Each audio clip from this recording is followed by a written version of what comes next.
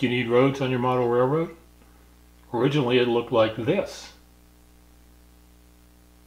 But now we have installed roads so we can actually access the structures on our layout. If you want to learn more about how to do this, stay tuned.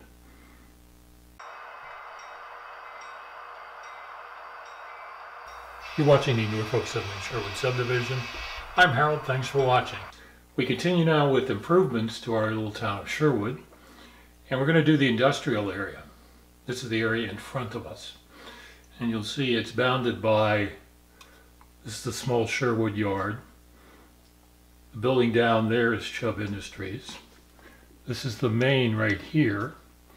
And the road that enters it is where those two trucks are parked. We have here our passenger station that's under development. What I've done is I've made a template. This is the white part. And I've sketched out the roads. what I found was I have a lot more room than I thought I did. So in addition to the structures that you can see here, I've um, been able to find a place for an additional structure. It's going to be a Waffle House kit from Summit Custom Cuts. That's the east part of Sherwood. We'll show you the west in a moment.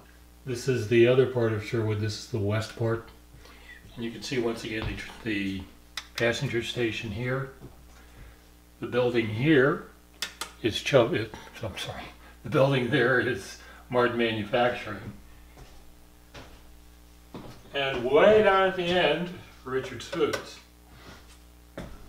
The plan is, the plan is to have a roadway that comes in here, two lane road, passes in front of the passenger station, makes a loop right here to go back, and the loop will have a connection into the parking and unloading area of Martin Manufacturing. That's why I put this container here so I could get a sense of how big that area needs to be. The idea of using a template I think was a good idea because it gave me a sense of in full scale how much space I had for parking areas, the entrance to Martin Manufacturing, and on the other end, the method by which we will get into the area via roadway. So I've started drawing out lines. You may not be able to see them on the video. With our template in place, we have taken the next step. The lines that we initially drew on the template that you saw were an approximation. Now we've done something a lot more precise. We've used a curve and an exact straight edge to cut away the edge of the road paper from the template. So now we have the exact edge of the, edge of the road where this will go. The next step will be to mark that with a line and to extend it 28 scale feet and remove the other part of the template. After we do that, then we will have a complete outline of our road and we can put down our paving tape and start pouring the road. After removing all the lines, what we did was we took a 28 scale foot measurement from this line and drew in that line. And we made some curves in appropriate places down here by the station. So now we have our 28 foot two lane road marked out. It's ready for the paving tape. We've made some progress on our road. What I've done, we're going to put smooth it over top of this, which is a plaster material. And I wasn't so sure that it would adhere well to the painted surface that we have here. So what I did was I removed all the paint and now you can see plainly how the roadway will be laid out.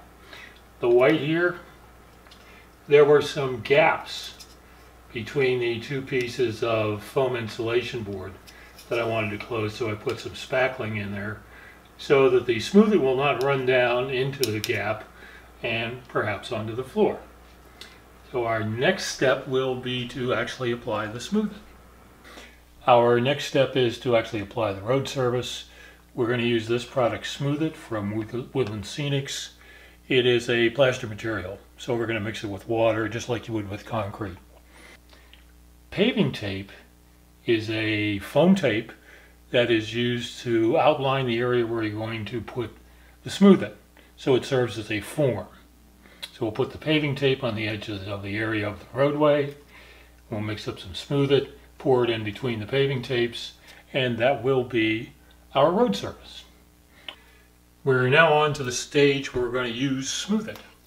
First step is paving tape. It's a foam tape with, an, with a sticky back and this we use as a dam or a form for our roadway. So you just put it on the outside of the line. Press it down really nicely. It'll go around curves rather easily. So we've done the inside of the roadway. We'll do something similar to the outside. And to all the remaining outside parts that go around the curve. And you'll notice that we're pretty close to the track here. So we're going to put some extra protection over our track to make sure Smooth It gets in here, but does not get onto our track. Well, we returned and we have, as you can see, we've protected the entire area around the place where the smooth it will go. It's, the smooth it goes right in here in the green. And the reason we've done that is smooth it being kind of a liquid plaster has a nasty tendency to get all over the place. And we especially didn't want it on our track, which is here and here. So we've done a complete job of protecting the area. The next event will be to apply the Smooth It. I'll go and mix it up and we'll be right back. Now for the easy part, we're going to uh, install the Smooth It after all this planning and masking. The manufacturer recommends uh, two parts of the Smooth It powder, one part of water. I use a little bit more water than that because I like it uh, a little runnier. So the way this works, just pour the Smooth It in here.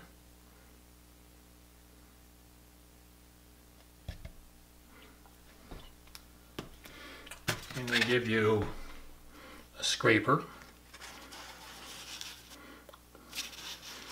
Clear down to the end. Make sure you've got full coverage.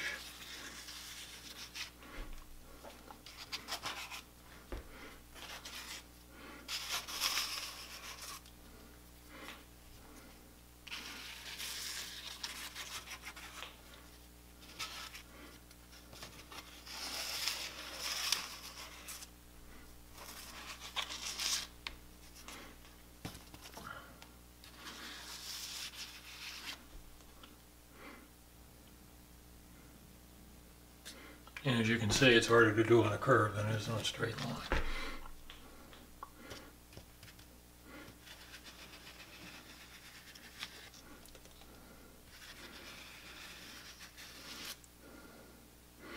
Working time's about 15 minutes.